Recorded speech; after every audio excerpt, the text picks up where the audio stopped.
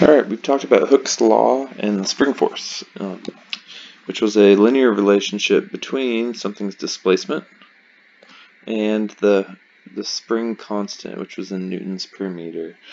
And we saw that if something took one meter, to, took one newton to move two meters, it would take twice that to move four meters. It's a linear relationship. And it's worth noting again that the spring force is always opposite of the displacement. So, if I'm going to actually draw a different scenario. Um, I'm going to draw it in the opposite direction. I'm still going to have a block on a surface, just so the spring is attached to something. And we'll draw our spring off to the left, attached to some wall.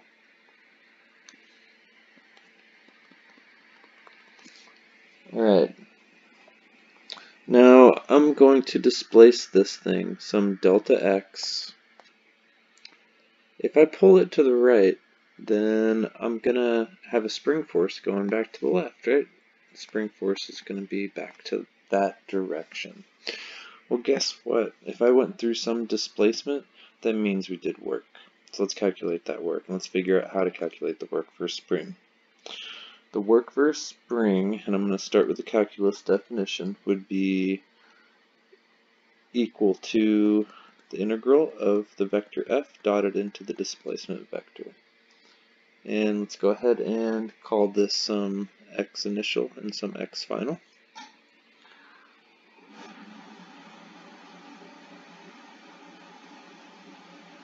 If I wanted to put in the force, it's going to be a minus kx, and it's in the minus i direction, right? It's going back to the left, and my displacement is some dx in the i direction, but it's positive.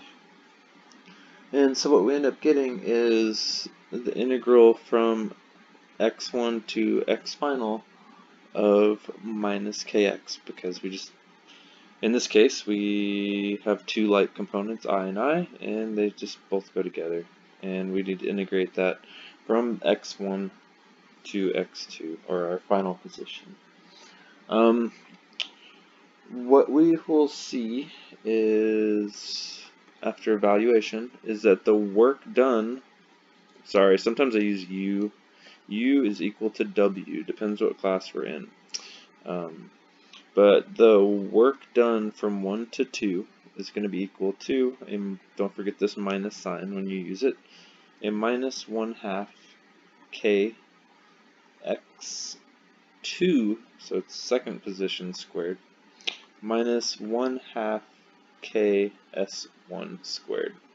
And the order really matters on this one. Um, but I, I see a lot of people have trouble with the work done by a spring, and uh, the language can be confusing. Is the work done by the spring on the block? Is the block doing work on the spring? Is something pushing on the mass causing us to do work on the spring? Well, would bear with me because when we get to the conservation of energy, we won't have to think about that. The spring the energy in a spring, or the potential energy stored in a spring, is always positive so I'll just teach you some tricks to, of which side of the conservation energy equation to put it on. And it just it just works so much more beautifully in my opinion. Uh, we still needed to be able to calculate the work done by a spring though, and this is how we do it right here. Um, notice it's position dependent. Oh, that's an X. It's just position dependent. So what we're dealing with with work and energy, I want to say this again, I've said it before, is position or displacement, um, velocities.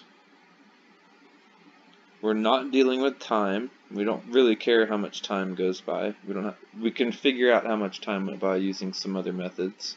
Um, but in work, energy, and conservation of energy methods, we, we don't really care about time. Um, but position, velocity, or speed, actually, and force. Those three things are going to be able to find out a lot of solutions in a much more elegant manner than just using Newton's law or just I don't know. It's just another tool in the toolbox. Um, we're just building up our toolbox is all we're doing. so if you wanted to calculate the work done by a spring and you knew its initial and final positions, we would go ahead and do this.